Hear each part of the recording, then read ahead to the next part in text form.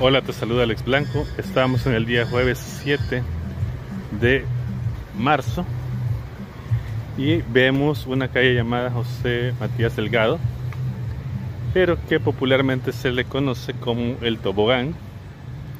Y les digo por qué, porque la inclinación más adelante es bastante grande.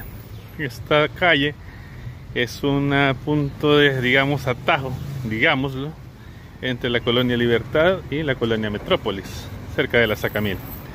Pero eso de atajo es un cuento porque miren la cantidad de carros que vienen bajando y que están, pues la trabazón o el tráfico continúa por varias cuadras más. Ese es el aspecto que tiene, pues, obviamente el tráfico del el día jueves aquí por la colonia Sacamil.